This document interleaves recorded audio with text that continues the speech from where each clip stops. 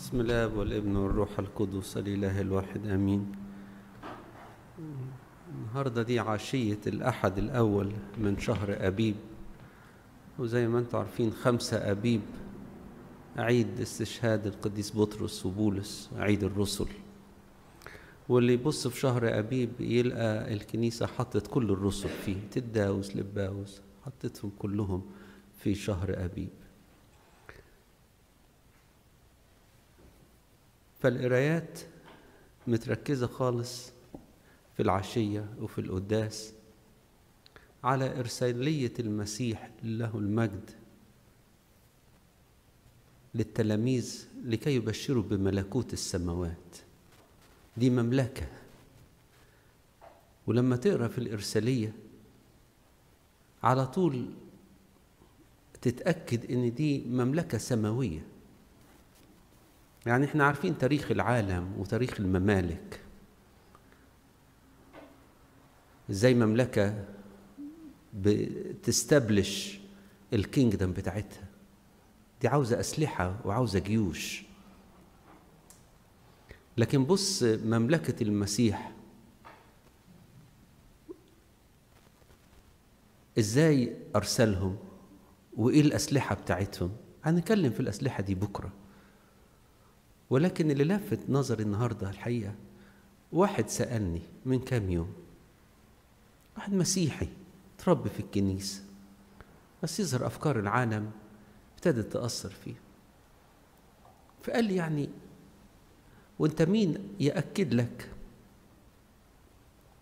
إن قصة المسيحية دي قصة حقيقية يعني؟ ما إحنا بنقرأ على روايات كتيرة وكلها من خيال الإنسان. وبعدين بتتعمل أفلام وبعدين الناس بتصدقها. وبعدين إحنا عندنا دين مثلا في العالم النهاردة في أكثر من بليون واحد. قصة ولكن انتشرت. فهو بيقول لي أنت يعني هل أنت متأكد أن قصة المسيحية دي قصة حقيقية؟ طب طب تتأكد إزاي؟ الحقيقة بقى اللي اللي يعني لفت نظري في إنجيل العشية إن حقيقة المسيحية هي في إنها انتشرت بزيرو إمكانيات بشرية أنا مش هتكلم في النواحي التاريخية ولا الحقيقة القيامة ولا المسيح ولا الحاجات أنا بتكلم من ناحية روحية. هي دي اللي هتسندنا. ملكوت السماوات انتشر بلا أي إمكانية بشرية. بصوا بداية الإنجيل دعاهم 12 وأعطاهم قوة وسلطان على جميع الشياطين. ادي قوة المسيحية. كيف انتصر؟ أعطى مين اللي عنده سلطان على الشيطان المسيح. طب وإزاي اداها له وبعدين إيه الامتياز يعني؟ إيه اللي كان فيهم يعني ممتاز عن بقية الناس؟ كانش فيهم امتياز بشري ده اختارهم. و قدسهم وأعطاهم قوة. هنا دي يعني القديس كيرلس الكبير قال إنه مجرد إن هو أعطاهم قوة ده أثبت إن هو الإله. مين يدي واحد قوة إلا إنه كان عنده دي؟ يعني ما حدش يقدر يدي حاجة إلا لو كانت عنده. طب ومين عنده قوة على إخراج الشياطين؟ ده الله. طب هو كلمة؟ لا بص في بداية بص بداية الإنجيل أعطاهم قوة وآخر الإنجيل إيه؟ يقول لك إيه؟ كانوا يخرجوا يبشروا يخرجوا الشياطين ويشفوا دي هاجي لها بعد شوية شفاء المرضى. لكن قوة إخراج الشياطين دي ده ده بتاعت الله. تخيل بقى معايا انت يعني أنا بس عاوز أتخيل الموقف ده. دول جماعة كانوا من الجليل. يعني معرفتهم حتى بالناموس ضئيلة جدا ما تعلموش. صيادين سمك بسطة خالص. تخيل بقى هم الناس عارفينهم. تلقى يمشي يخرج الشياطين. ده انت مين ده؟ جبتها منين؟ وبعدين؟ وشفاء الأمراض. دي بقى بردك عاوز يعني حتة يمكن صعبة شوية بس لازم نفهمها. طب مين اللي جاب المرض؟ ما النهارده العالم كله أكتر ما يزعجه والإنسان أكتر ما يزعجه هو المرض. طب المرض ده جاي منين؟ واضح خالص إن المرض ده ما كانش من عند الله. ودليلي إنه إداهم إنه يشفوا المرض اللي هو حاجة جاية ضد الإنسان واجينست جادز ويل إداهم الحاجتين دول. إداهم يخرجوا الشياطين دي حاجة روحية.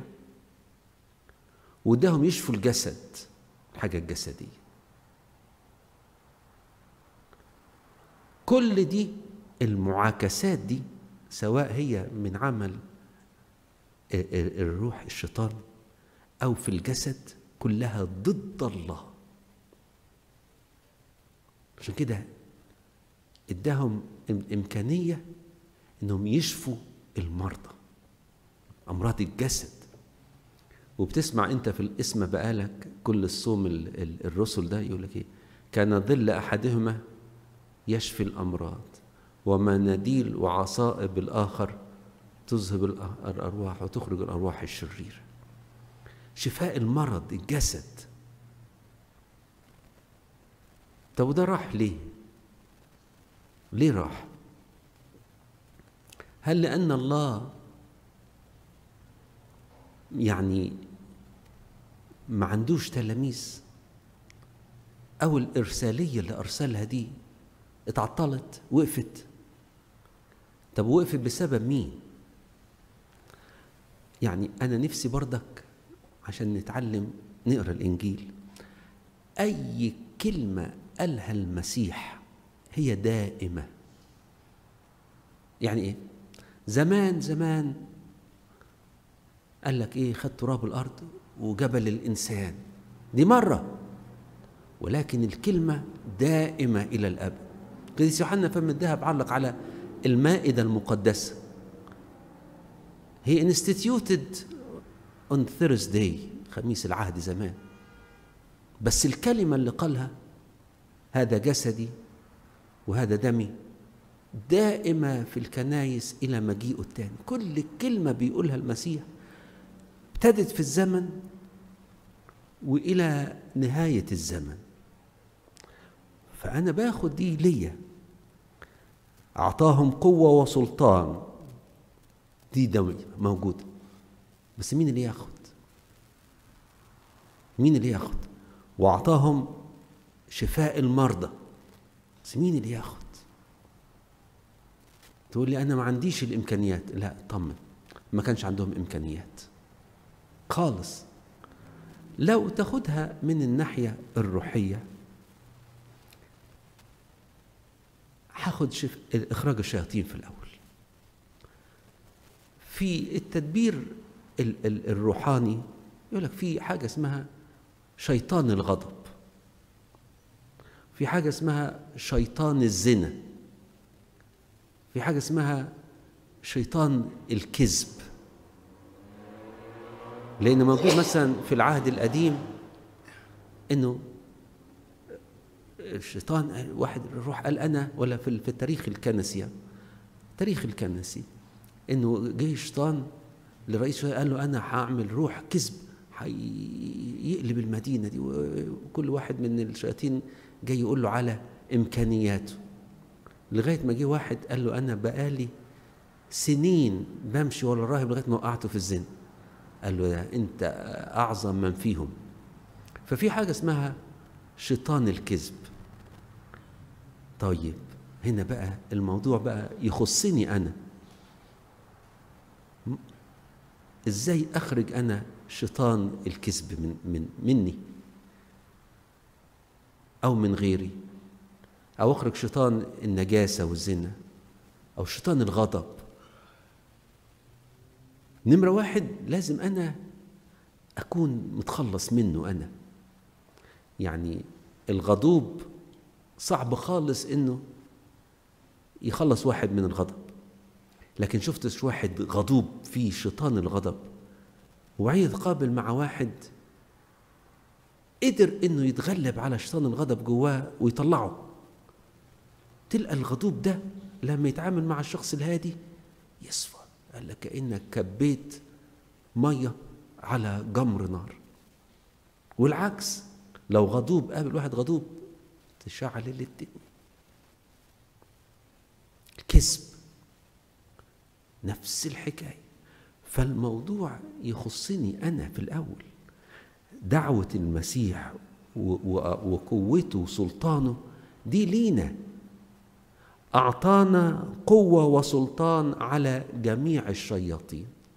بس عاوز الواحد ياخد القوة دي ويتقوى ويواجه نفسه ويواجه الشياطين اللي جواه دي.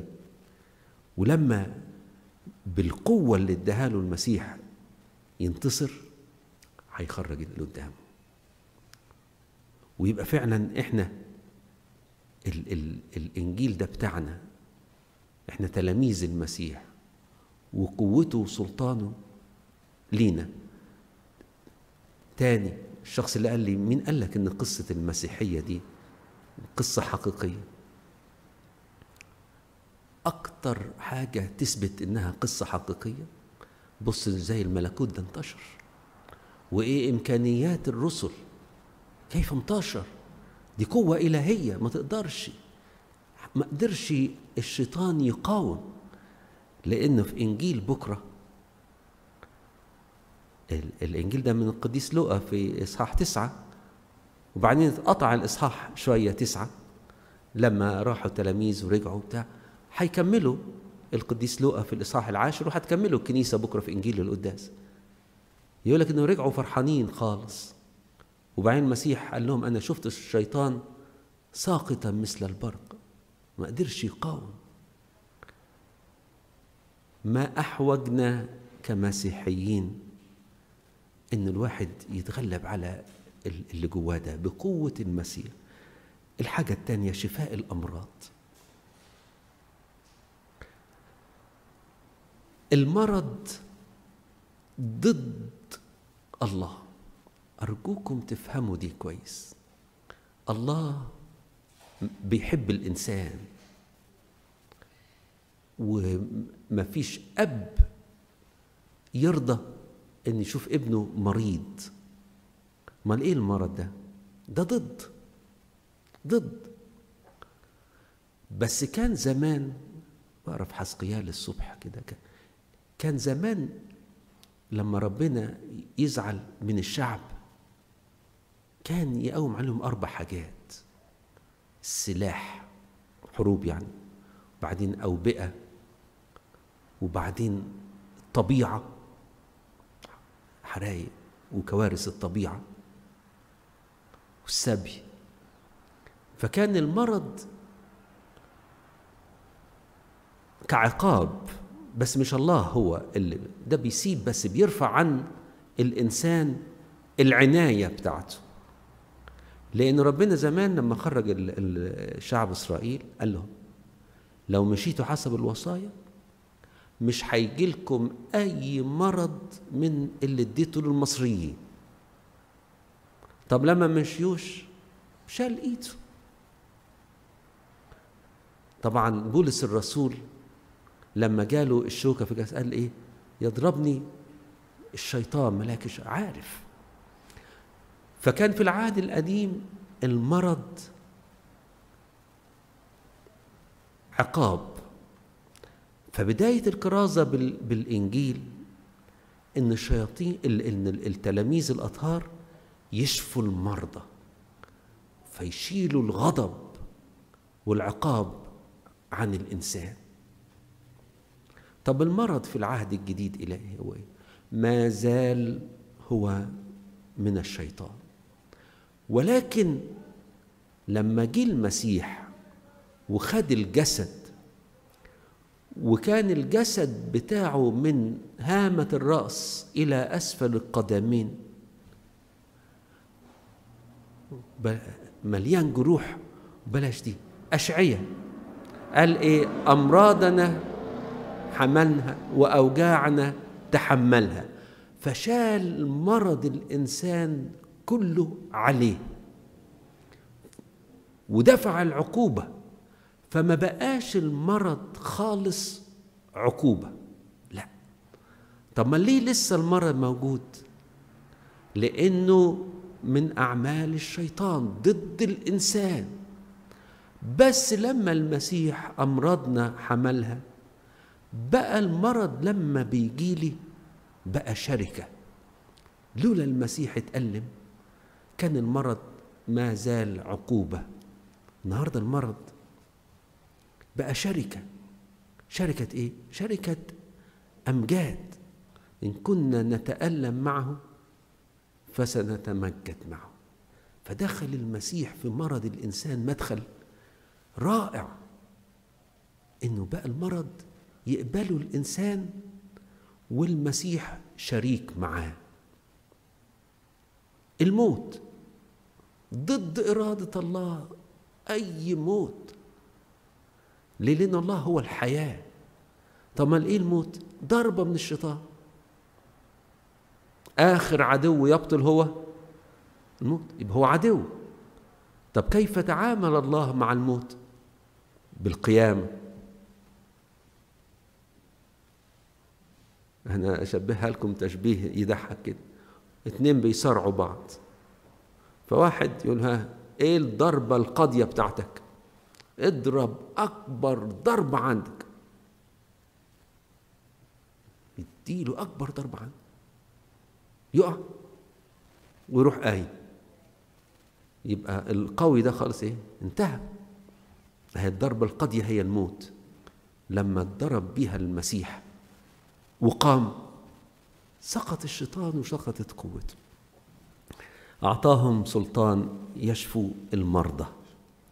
طب إحنا بقى ككنيسة تاني أنا حولت إخراج الشياطين ده وحولته ليا.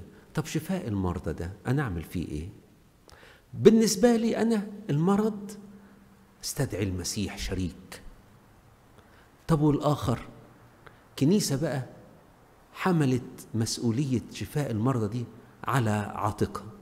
يصلوا كل يوم كل قداس كل صبح صلاة للمرضى. كأنه الواحد بياخد المريض ده ويحطه قدام الله. طب دي بتاعت القسيس مين قال؟ مين قال؟ لما تروح تزور مريض اللي يمنع إنك تصلي اوشيه المرضى مرضى شعبك يا رب اشفيهم تعاهدهم بالمراحم والرأفات انزع عنهم كل مرض وكل ثقة. ما لما بنروح نزور مريض بنعمل إيه؟ ناخد له شوية ورد وشوية حلاوة كده وخلاص ونقعد نرغي. لا. لا. صلي معاه. كأني أخذت المريض ده وحطيته قدام الله. أعطاهم قوة وسلطان على جميع الشياطين وشفاء المرضى فكرزوا بالملكوت بهذه الأسلحة.